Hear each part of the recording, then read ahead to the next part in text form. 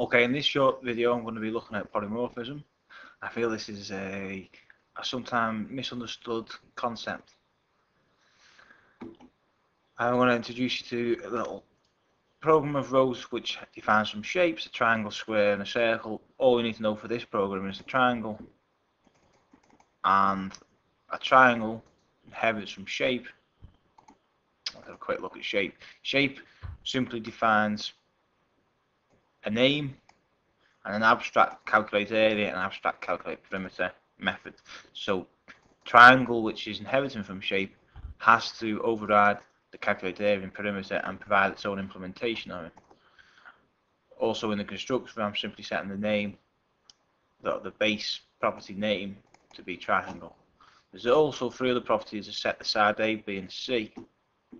And if you look back on our program that we've wrote I've created a new triangle. I'm calling triangle, got side A and setting the, the value. I'm then going to call the calculate perimeter, calculate the area and spit it out onto the console. So quickly run that, there you go. So it's got triangle perimeter 23, area 12.968. No problems with that.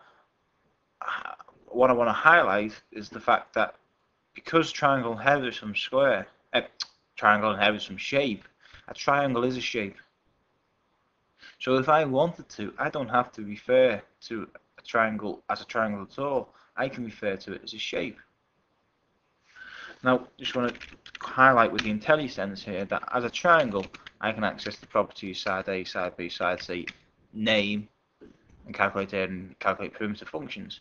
Name and the two functions are um, described in shape. Side A, B, and C is applicable to a triangle. But if I want to, I can refer to a triangle, I can make an instance of a triangle, but refer to it as a shape because it is a shape. So if I wish to do that, that's fine, there's not a problem. That's polymorphism. I can do that, but I can't refer now anymore to now to side A, side B, or side C because from in from now on, it's referred to it as a shape. But because shape has defined the calculate area and calculate perimeter, I can still call their methods and get the behavior of the triangle. Now, just to get this code working, I'm just going to comment this bit of code out and I'm going to set on the constructor 5, 7, 11, that specifying the sides of the triangle. And to make it clearer, I'm now going to change the name from being a triangle to being a shape. Okay. Now if I run this code, I should get exactly the same behavior as before. Sorry, the same output as before. So triangle perimeter 23 area 12.968. Even though it's no longer a triangle, it's a, it's a shape, or referred to as a shape. It is still a type of triangle. If I was to write triangle a equals shape as a triangle. I'm going to say if sorry, if A does not equal null, then A dot side A. So I'm going to write that out to the console.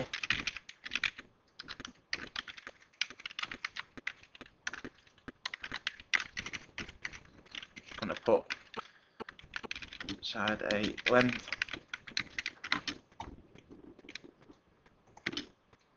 and hopefully I get a value for it. So there you go, side A length is 5. So even though I've referred to it as as a type of shape, it is it is still a triangle. And we if we was to cast it back, you can get the length of the side again no information is lost. Okay, so what good is that? Well, I'm going to do one more thing first before I show you what good that is. I'm going to show that that's an abstract class. It doesn't need to be an abstract class. It makes sense to be one, but it could also be a um, just a normal class which was inherited. As long as it's inherited though, triangle will be the type it inherits. So if it's triangle, inherits from a shape, a triangle is also a shape. Now if shape was to inherit from this interface, I shape, which defines how the calculated area, the perimeter, and the name, so we can do that, implement I shape here. In fact, we, we already implement these functions that are defined in I shape, so we don't have to make any changes in there. We can now refer to a triangle as an I shape. It makes no difference. Build that just to prove it, and you run it, you get exactly the same output. Okay. So to show one of the benefits of doing this, I'm just going to comment this code out and uncomment this code. Now this code is going to call set up some shapes, which simply creates a triangle, creates a, uh, creates a square and a circle, and adds them to a collection of type I shape. Returns that collection back, and that gets sent into display shapes, which will loop around all the shapes in the collection, bring out the types of I shapes, and show the name, the, the calculate the perimeter, and calculate the area for each shape. Now, look at this. I'm not referring, other than when I instantiate them, I'm never referring to the shape as its concrete implementation. I'm never referring to the triangle as a triangle or the square as a square. I'm referring to it as the super type. Fancy name there, super type. But if we look at this on the Solution Explorer, square, triangle, and circle, there are concrete implementations of a shape. A shape is a super type. And a super type of that is an I shape. Let's quickly run this program now. You see we have no problems running around that collection of I shapes and printing out all that information.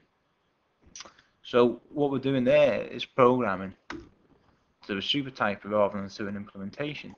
And that is actually a principle.